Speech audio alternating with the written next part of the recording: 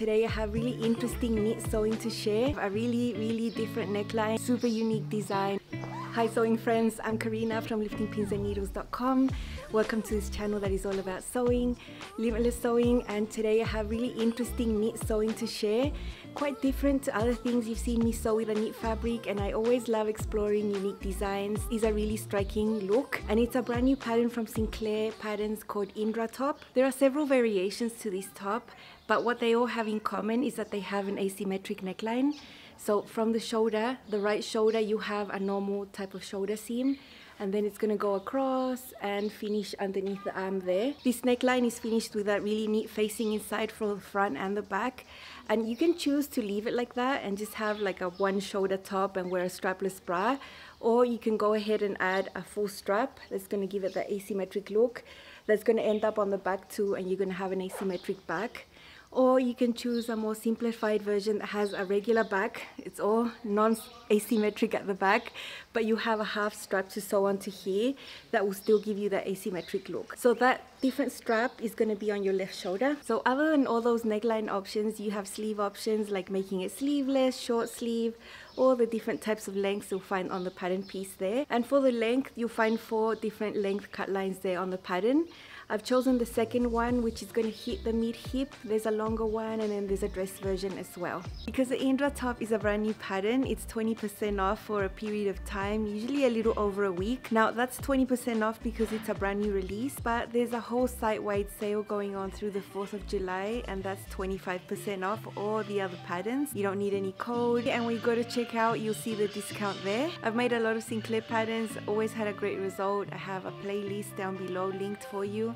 I film tutorials for all the patterns that I review as well. You also find my general affiliate link that will just take you to the page and you can browse.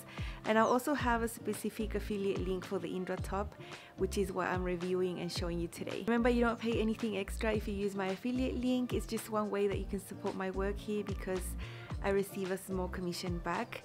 One of the ways I make an income doing what I do. You need light to medium weight knits that are going to stretch at least 30 to 50% both horizontally and vertically. So if you check your fabric and it doesn't have any vertical stretch or give, just don't use it. It's just not going to be comfortable. It's not going to work. You need fabrics that are not so flimsy. So a big no-no for this pattern is rayon spandex, bamboo spandex, modal spandex. Those are just too soft and too floppy to hold up this type of neckline. And those types of fabrics aren't really going to work with a knit facing that well, ever. So put those aside and choose something like double brush poly, an athletic knit, cotton lycra, some rib knit, some rayon French terry. Athletic knits are also gonna work. You know I'm a really big fan. Just make sure you have spandex content and that you have good recovery here. And other notions you're going to need is tricot knit interfacing. You're going to need to stabilize the neckline partially with that, also the shoulders and you're going to need some elastic. If you have clear elastic that stretches nicely, that's going to work. Otherwise, you can use regular elastic can be a quarter of an inch or 3 eighths of an inch. That's just to give all this asymmetric neckline structure so that it doesn't end up gaping and stretching out. You'll find sizes 0 to 30 US and Sinclair Patterns also has height files. You choose that file first, whether you're petite, regular or tall height. I use the tall file and it's perfect. I rarely need to make any fitting adjustments and it's going to be fitted here on the upper chest and bust area. It does need to be that way so it's not floppy but then you're going to have a little bit more space at the waist around 5 inches of ease and around the hips around 3 inches of ease. This is my favorite type of knit top that's fitted here and then it just sort of skims over the rest of your body. I love that. Other than choosing the tall file and size 16, I made zero fitting adjustments, nothing whatsoever. I just cut it out and went straight to my fabric because I've been sewing a lot of this brand for a couple of years now and I'm really confident in the drafting and that it's going to fit really well. And you also have progressive cup sizes here. So at my size 16, it's drafted with a CD sewing cup size in there. So it's perfect. I don't need to worry about anything and it's all good. I am a person that loves asymmetry in clothes, in life, everywhere. I just am really drawn to it and I know not everyone is, but I really, really like an asymmetric neckline And there's so many ways to sew them, you know, it's super different if it's a woven. And for this knit style, it was different as well and it was really, really enjoyable. I have filmed what's most interesting, which is the neckline. There are a few things that you need to be aware of when you're cutting a design that's asymmetric. So I will show you that and how to sew the facing, how to stabilize the strap, the neckline, all that fun stuff. Let's see.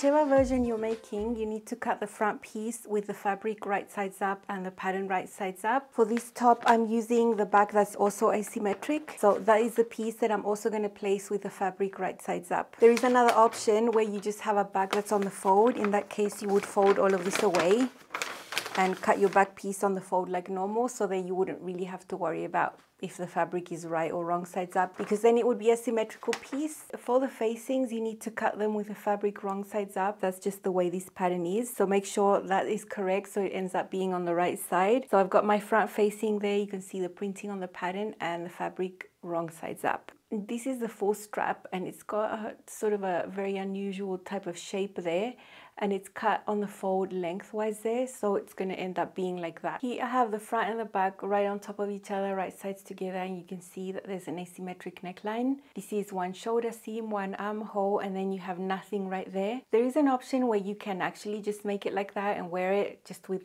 a shoulder fully exposed, use a strapless bra. But I have a full strap here. This is a piece that's going to be folded onto itself and that's going to be attached right there giving you the asymmetric neckline look. Here I've got facings for the front and the back and my short sleeve. Because of the way this is sewn and because it's a knit and we don't want that neckline to start stretching out and gaping, it's recommended that you stabilize this slanted edge with tricot knit interfacing. So it's hard to see because I've used white it does stretch a little, but it'll make it a little more stable than if you did nothing. This is the back piece and I've also stabilized the shoulder area there so that it doesn't hang and start stretching out when I attach on the sleeve. And along the front and the back necklines, you'll see different types of notches. Make sure you mark them so that you can match on your facings later on. This is the full strap piece. This was cut on the fold like this lengthwise, but now it's extended. We have the full piece. Now on one of these ends at the bottom, you're gonna have double notches right there. This edge that has those double notches is gonna match the front and that over there is gonna be the back. Around here, this is gonna be the armhole. So I've drawn a little line with a friction pen in red just in the center and looking at this exactly like this with the fabric wrong sides up from that center that way I'm going to cut a piece of elastic the same length and just sew it on there with a zigzag stitch just to stabilize that because this is going to end up being part of the neckline and you don't really want that to stretch out. So I am going to do that although it's optional I am going to take every precaution to get a really stable neckline right there. So just along there, I'm going to sew on an elastic. I'm not going to cut it any shorter. I'm cutting it the same length and just make sure I'm not stretching anything out. And I'll just sew that with a zigzag stitch to hold it in place. Here it is folded onto itself, wrong sides together. This is the armhole. And at the bottom, this section is going to be on the front neckline and this other section is going to be on the back neckline. I did make sure to mark that really nicely on my fabric so I know. The easiest way to know which is the front is that towards the side you have two little notches there. And if you're wondering what about this, is it going to be seen? No, because this is actually the part that's going to be touching your skin. This is the part of the neckline that's going to be visible, so it's going to be clean there and the zigzag area is going to be on the inside of the garment. So don't worry about it showing. Just make sure you sew it just like you saw me doing it here. This is the front neckline. Make sure it's facing right sides up like this. This is the front facing you're going to have little notches along there to match it up. As you can see, the facing is a little bit shorter, not that much, but you will have to stretch the facing a little bit to match. And that's just to help keep everything together and not gape. But let's move this aside for a little bit. This is the side seam here. This is the shoulder. So on this area, on your front, you're going to have a double notch right there. Take your strap piece. Make sure you're looking at it like this. You have the fold right there. You have that zigzag area looking up at you. And along this edge, you're going to have a double notch on the side right there.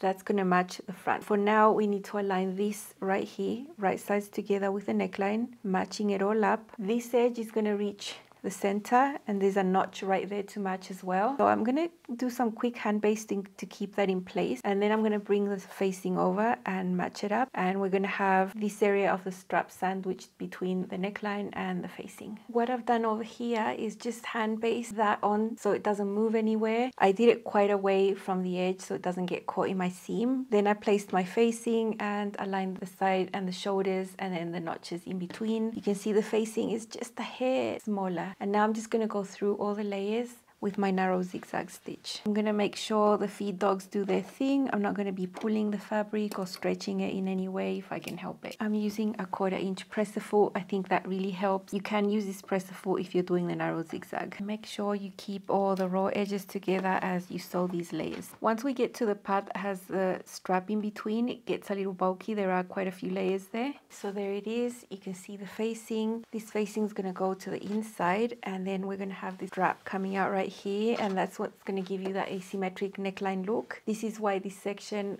was stabilized with elastic to keep it nice and stable. So we're going to repeat the same process that we did over here but with the back just having all of this attached and dangling. I'm going to put all the top over here to that side, bring my back right here so I can see it. This is the back neckline here that we're looking at wrong sides up now. this is the side seam and it goes curving up to the shoulder. This is this area that has been stabilized and now keeping this strap under there just as it is we are going to align these right. So in the same way that I did with the other side I'm just going to quickly hand baste that and keep it in place. I know this looks a little messy here but all I've done is fix the back strap onto the back neckline here, right sides together if I stretch this out, you can see the strap coming from over there. We've already done all the front business. This is the armhole. This is the side seam.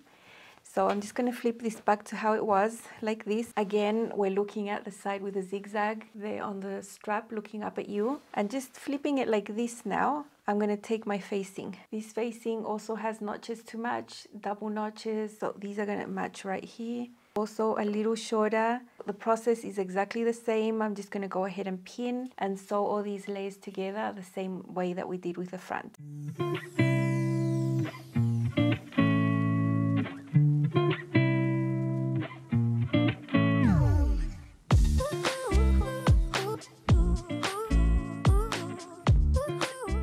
We have attached the front and the back together in some way, just on one side.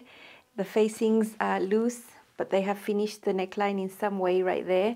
And we have the full strap sandwiched between there. Now, when you look at this, this is the folded edge. This is the edge that has the zigzag. You can see the zigzag looking up at you. That means it's on the wrong side of the garment, like it should be. So in essence, that shoulder has been finished. There's no seam on the shoulder. It's just part of the strap. But we still have this shoulder hanging loose right here. This is how you want to pin your shoulder and your facings together. We're going to sew them all as one seam. This is the shoulder. You can see that's stabilized with interfacing. This is the back. The front hasn't been stabilized. And the two facings sort of match in shape right there. Make sure to put a pin to match those seams right there. I'm not going to be removing that pin. Make sure you have that tiny seam allowance going towards the facing here. And now I'm just going to sew this with a quarter of an inch seam allowance right there.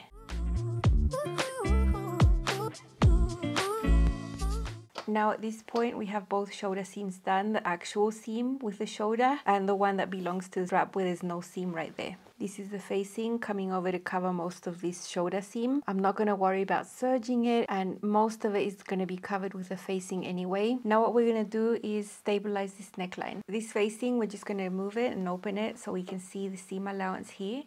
You can use clear elastic or regular elastic. I'm using regular elastic, 3 eighths of an inch wide. You can also use a quarter of an inch wide elastic. You'll find in the pattern how long you have to cut this out for each size. So what we're gonna do is extend the facing, push the seam allowance towards the facing. And what we're gonna do is sort of like understitch, but with the elastic and with a zigzag stitch. So you can clearly see my black seam we're to put the elastic right next to it there. I'm to pin it and I'm to go ahead and pin it all the way to the other edge where I'm supposed to reach all the way to this other side. I'm to stop the elastic a little before though, just a tiny bit. I'm to trim actually about 3 eighths of an inch and leave this free for the side seams. I don't want elastic there, it might get a little bulky. So over here I'm to trim off that little bit as well. I'm going to divide my elastic in half and then divide my neckline in half and pin it there and actually the seam right here that is the middle of the neckline is a little fiddly. Just make sure your elastic hasn't twisted. So you can see it's a little shorter. And from here to the other side as well. Make sure the elastic is straight. To clarify we're only sewing on the facing layer. So make sure your strap there is out of the way and that you're not catching it. We're just catching the seam allowance to the facing. It's like you're understitching but from the wrong side and with a zigzag and putting an elastic in there. I'm using a medium size zigzag here. I'm aligning the edge of my elastic to my seamless. You might find it easier to divide all of this into quarters, but I think half is okay for me. I'm almost up to the half point where the shoulder and the facing seams meet, but let me just show you how this looks like. You can see the seam allowance is tucked in under the elastic. Seam allowance is going towards the facing and from the inside, this is like understitching, but it's just a zigzag and there's an elastic in there. So this is actually going to keep the facing inside and also make it really stable. I'll just keep going now. Here I'm at the iron and I've got my top wrong sides up. Here's the facing, there's the elastic inside and I'm just giving it a good nice steam. Now the next step is to top stitch the facing down. You're gonna have armholes on the side of the strap. It'll be a double layer armhole. that doesn't matter, you can sew in your sleeve on the flat there if you want. Or like I do it, I just sew the side seams first get a completed armhole and then sew my sleeve in on the round. You've probably seen me do this before, but I like to hand baste the facing down while the garment is flat here on the ironing board and then I'm just going to top stitch it in place. I'm going to use a narrow zigzag, it's going to look like a straight stitch anyway and that's going to fix that in place.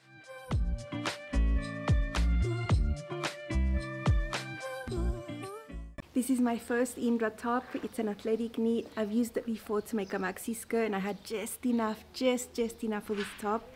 I was initially thinking of making it sleeveless if I didn't have enough for the sleeves, but I was able to squeak the sleeves out and I'm really, really happy that happened. I just needed more tops with sleeves. I usually just make them all sleeveless. And here is this asymmetric neckline. I think it's really nice.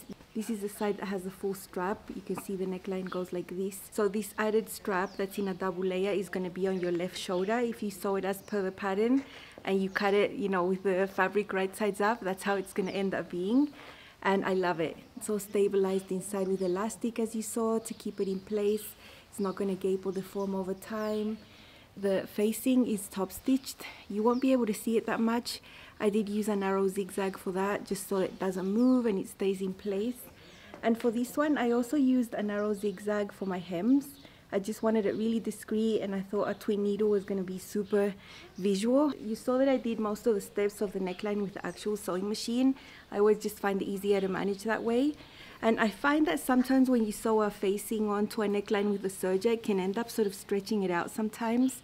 I feel I have better control with the sewing machine. You can see the facing is understitched right there with that zigzag but it's got the elastic inside and it's just keeping it all in place. I like to hand baste my facing before top stitching so it's really really flat. So that's how it looks inside. I really love the result. I love the ease how it fits how it looks. It's just a really elevated top in my opinion. So let's see it styled a couple of ways. Here is my indra top from sinclair patterns. This is a size 16 with a tall file. I've got my off-white jeans that match the print here on this top. There are lots of length options I like this mid hip length. I have used this type of athletic knit before and this was a little leftover I had just enough for this top and I love the look. It's like an elevated t-shirt because of the neckline you can see up closer. I am all about asymmetry. The construction method here was really fun. All of that neckline is stabilized with elastic inside and a bit of knit interfacings. You do need some precautions for this to lay nice and flat and not gape. I really love it. It's got a facing inside that's been top stitched. It was a really fun fun technique and different to the typical knit sewing that you do. And I have a short sleeve here. It fits really well. There's enough ease. It's really comfortable. You can do it sleeveless or do other lengths for the sleeve. And I have the asymmetric back option as well.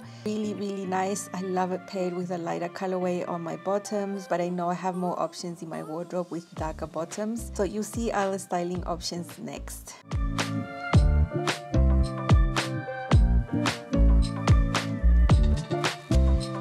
Is my Indra top again, this time with a pair of knit shorts, also by Sinclair Patterns. They're like shorter culottes, they're just a wider type of short with a pair of sneakers that are my skin tone. Really comf casual outfit that I could be super comfortable in but feel really good because I know this top has an extra special detail that the neckline that doesn't make it so so basic. I think this print is just there to catch everyone's attention and I'm not against that. I really love this print, so so nice.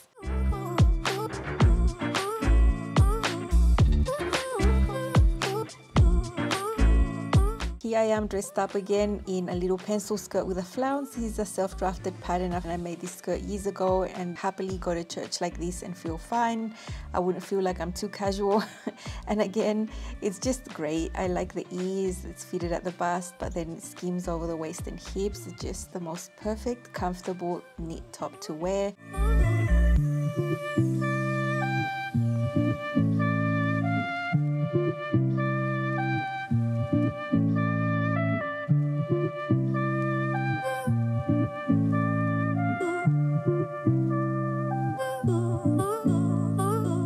Now the last look is casual as well. Black linen pants, very classic trousers, cap toe heels.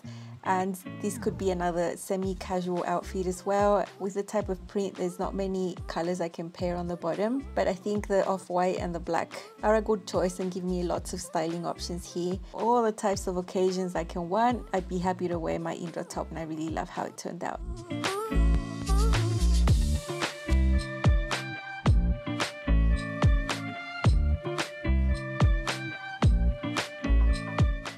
After styling my Indra top with off-white pants and black bottoms, I have the classic denim skirt that will go with everything. Denim skirts tend to be quite boring, but if you pair it with a wow top like this, it just makes the outfit much more interesting. It's just that tone of blue and denim, it just matches everything. The Indra top here is no exception. And it makes it also casual. I have really, really comfy shoes and I'd be so, so comfortable all day. So that was a bit of a workout changing to all the looks, but I always enjoy it. I really wish I'd had time to make another one. But as you can see in the sewing segment and my descriptions, this is not something you make in one hour. Like a lot of knit tops, it takes a little while longer. Also the filming, the editing, yeah, that took ages. I know my next version is gonna be in a solid and I want to do this strap in the same color solid, but just another different texture fabric. That is my vision. So I'm just going to try to put those fabrics together and hopefully I can show you my second version in the future.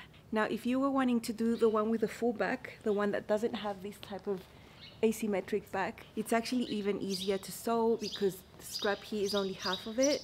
You would still sandwich this smaller strap into this area would be exactly the same but then the back would just be complete and you'd have a little facing on the back. So the way that I sewed this shoulder together would just be the same basically a little easier and the instructions are really good.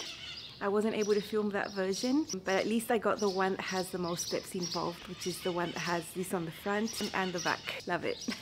this was so, so fun. It's definitely not a knit top you sew in an hour. There are a few steps that take a little longer, just making sure you cut this the right way, that you stabilize those areas. Just a little step that in the end are gonna be really worth it. Get a garment that looks and hangs really nicely and is gonna stand the test of washing and all that it's really worth your time to make something that is so well thought out in the drafting and design and the way it's sewn together. I love the way the neckline looks, the ease, just everything. You know, if I had time, I would have made more as usual. Highly recommend. It's a really, really interesting look. This is not a basic knit top, it just takes it up a notch and I really enjoy that with Sinclair patterns. Don't forget to check out the Indra top, 20% off for a period of time. And remember there's also a site-wide sale, all of Sinclair patterns 25% off the mid year sale. No code needed, very easy. You can browse. There's a lot of good patterns there for you to have a look at. As always, all the information is in the description box below and I pin it on the first comment so it's easy for you to find. That's all from me today and I'll see you again very soon. Bye.